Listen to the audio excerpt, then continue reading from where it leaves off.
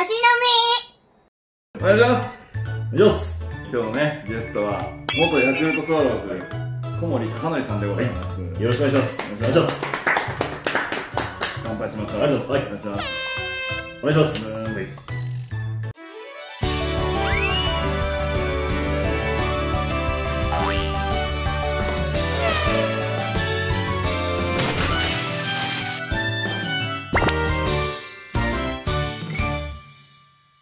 からいきますか。何からいきましょうかね。やっぱり、まあ、昔話というかねはいはいはい。プロの時の。あんまりこう皆さんが知らないようなやっぱネタですよね。結構ありますかそれは。そうですね。ただまあ出せるもの出せないあのがちょっとあるんで。なるほど。はい。いわゆる何年の、はい。な何位で入団はい。えっと、えー、まず自分がもう松坂世代はいはいはいはい。えードラフトは2002年、まあ、順位はもう下の方で9巡目、まあ、え下から、はい、数えた方が早かったんですけど、まあ、いわゆる松坂世代なんで、もう同期がジャイアンツ、ベイスターズで活躍した村田修一選手だったり、うんうんカープ、ソヨギ選手とか、東出選手とか、うんまあ、高卒とかね、社会人卒とかいますけど、世代は皆さん同じ、いはい、世代ですね。すごかったですよねあの年。94人ぐらいプロ行ってるんですよ、全部。で。えーしかも結構皆さん活躍されてますねそうですね。あとはもうだんだん指導者あそうかそうか今ね、そうですよ出ねますし、もう何年か前ですけど、平石監督もやってますからね。あの PL はい、うん楽天で監督。そうですよね、はい、い。わゆる僕ら学年でいうとはい2つ下なんで、あはい。もうもう松坂世代っていうキーワードなんてもうドンピシャですよね1年生ですか？らそうですね。はい。1年、3年生ってことですね。もうもうもうもう。バリバリですね。すごいですよね。えそれはその世代だったらその要はすごい人が同期生に多いわけじゃないですか、はい。それプロに入りにくい年になるんですかいわゆる？これ、後から言われたんですけど、うん。で学年が1個上か、は1個下だったら、その順位も、まあまあ、ぶっちゃけ契約金も全然違ったって言われました、後から。いいやでもそれはそうですそうそうです。それは。絶対数が少ないので、それはね結構後から言われてね。で入って、はい。い、わゆるそのプロ野球生活って何,、はい。何年なんですか？現役は3年だけです。えそのやっぱ3年ぐらいでもは言われるもんなんですか、大卒は、まあ、一応こうそ即戦力っていうふうに見られてるのでやっぱこう2年ぐらいであ2年目が終わった契約更改でもうそろそろやばいぞみたいなことが言われて来年もちょっと頑張らないといけないなみたいな感じで大体まあ3年から4年ぐらいが目処ですかね。なるほど、はい。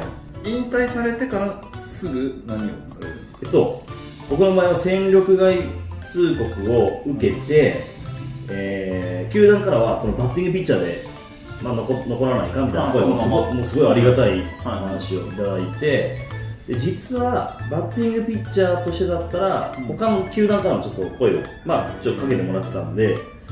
でまあ、かけてもらっていたというか、まあ、結果的にこう声をかけようと思っていたみたいな感じでいろいろ水面下ではいろいろあったんですけど僕の場合はまあ戦力外通告を受けた日の夜に、えー当時まだ選手で次の年から選手兼任監督になられた古田さんからはいはいはい直接お電話いただいて、はい、直接？直接ですね、あのまさにこんな感じで飲んでたんですよ。は次の日先発の、まあ、立山っていう同期い、の、はいはい。埼玉。はい、あのピッチャーと2人でどうこれはどうしようかなって。おー飲んだらこう携帯に当時はパカパカですから、はいはいはいパカ見たら古田敦也って出てくる。すげえ。えっ？てなって、はい酔いが一気に冷めて、はいはいはで電話取ったら多分来年監督やることになると思うからじゃあ俺の仕事してくれ。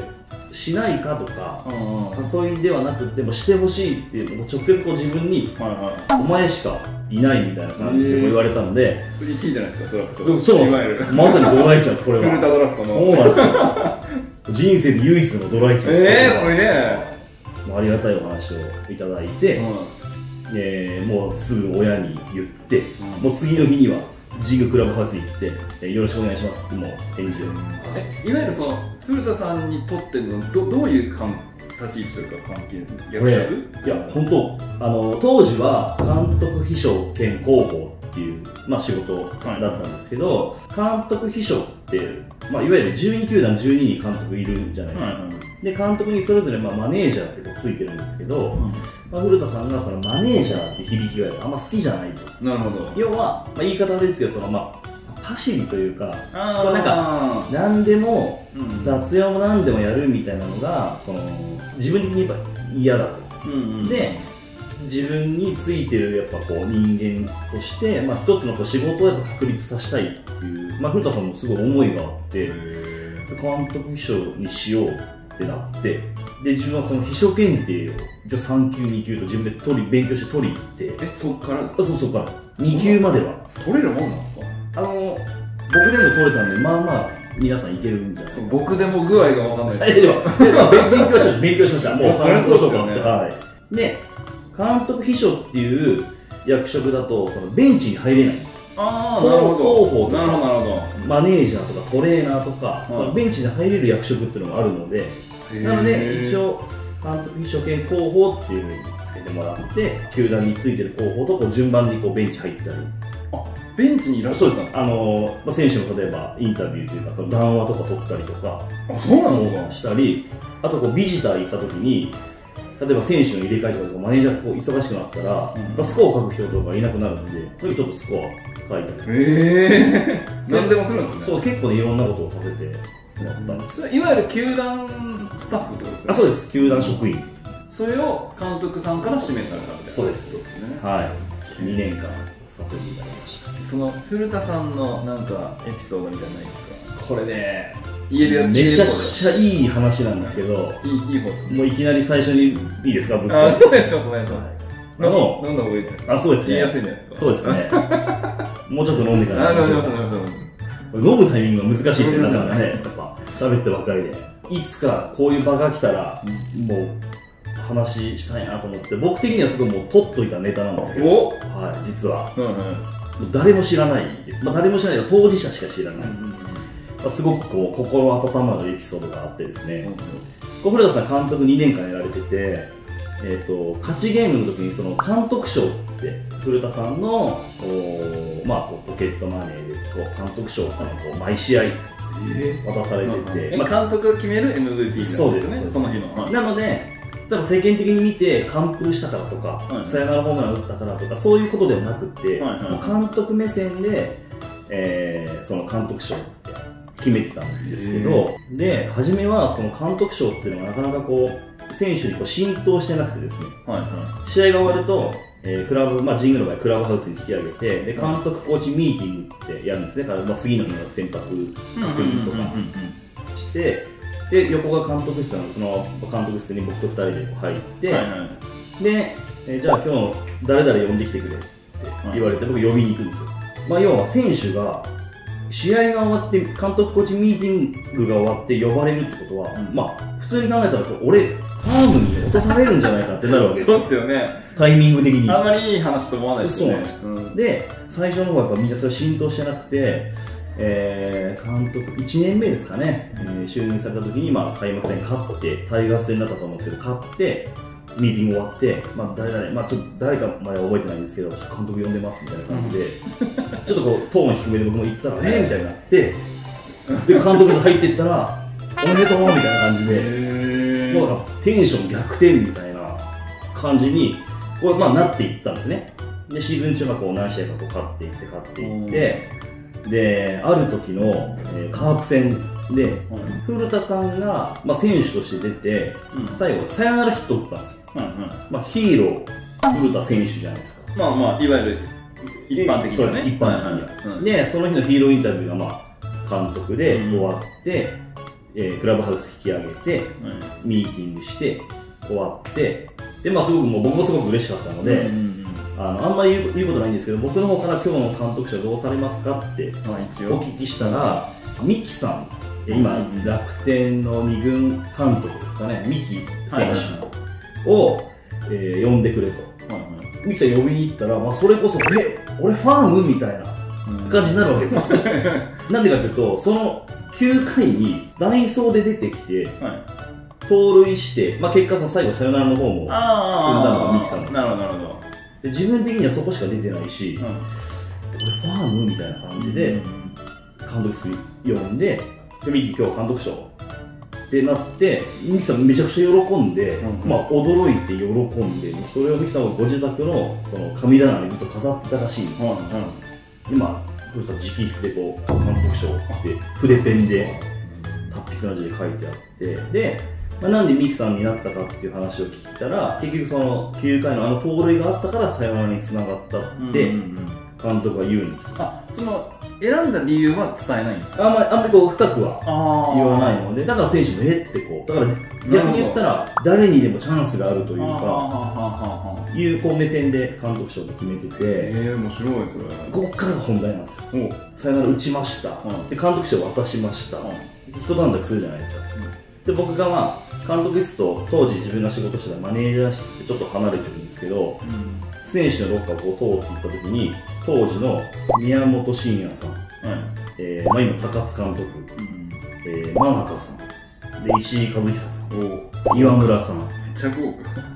この5人の方々が自分たちのポケットマネーで選手賞っていうのを作って監督にあ今日は監督がサインナロって決めたんでこれ選手賞ですって渡したんですよ、僕涙出そうになって。マジっすか。ぼ僕がですけど監督がめちゃくちゃ嬉しそうでシーズン終わるまで監督室入って真正面の一番目立つところにそれをずっと置いてあって。へこのねもうテレビで言ったらカットされそうななるほど。頭のある話をえちょっとできすぎてますもんね。そうなんです。話がね。いつかしたえいや、なんかこうやっぱ、ヤクルトってこうファミリー的な球団ってよく言われてて、あそうなんですか。まあ、選手同士が仲いいとか、あ選手の家族同士も仲いいとか、いろいろあるんですけど、こう古田さんもすごくこうお気遣いされる方で、あの裏方さんにもお中元とかお歳暮とかも全員にこうしてましたし、あそこまで偉大な方がそんなことまでするんだっていう感じなんです。よね。やっぱなんかその古田さんっていうワードが強すぎてそっちの話ばっかりになるじゃないですかどうしてもはいはい。はいめちゃくちゃ面白いんですけど、はい。ちょっとね小森さんの話も聞きたい。あ僕ですか？僕ですか。はまあ、現役は3年しかできなかったんですけど、一応ですね2年目と3年目はあの2軍で、まあ、ファームなんですけど、うん。2軍で、まあ、最多登板2年連続でしまして相手チームからまたお前かと、えなるほど。まあ、しょっちゅう言われてたんですよ。でやっぱり一番の思い出はあの、まあ、2軍なんですけどプロ初勝利。はいはいはい。でですね、うん。まあ、実は僕プロ初勝利の時ってジャイアンツ戦なんですけど、多分以前ねこのチャンネルにも出演した川本大輔さん。はいはいはい。同級生ですはい、あそうですね、はい広島広陵高校。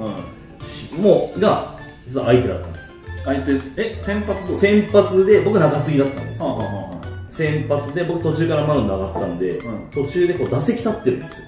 え実は実は。ですなるほど。あとねこの話したら多分ね本人怒ると思うんですけど、実はね同じ年にものすごい記録作ってるんですよ2人で。大事放送できるかなこれ。あの僕は1イニング3連続非本塁打っていうのがあるんですよ。もう本当ピンポン玉より飛んでるなみたいな。それってなかなかその記録って達成しないじゃないですか。でない。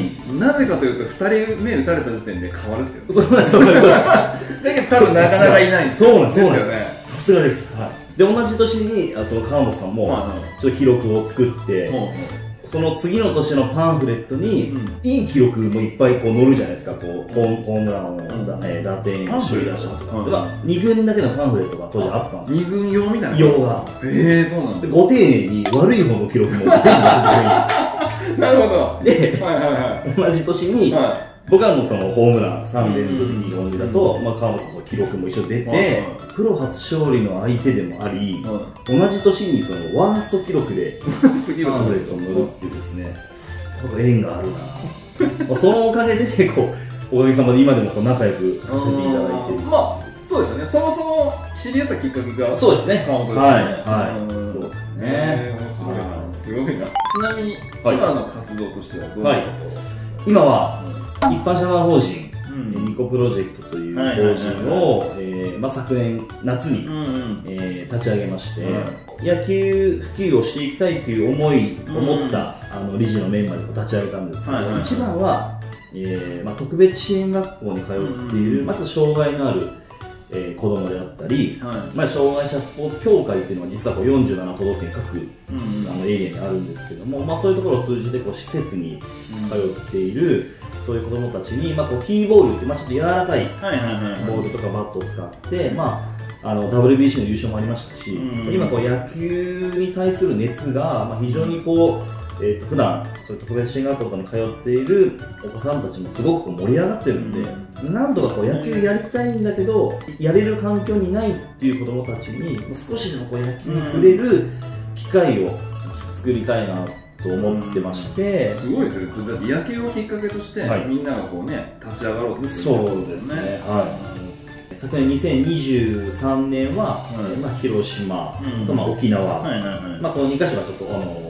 多かったんですけども、えー特別支援学校に行かせていただいて、まあ、体育の授業で、うんうん。えーお時間いただいそうかてそうかそういう学校ね。はい。はい。みんなでこうティーボールやるよみたいな感じで、うん。えーこう授業をやらせてもらったりとかっていうこともしていて、うん。もうすごくこう、もうみんな楽しそうなうん。ニコニコニコニコ笑って、あおのーだからこそですね。そうなんですなのでニコプロジェクトなるほどですけども。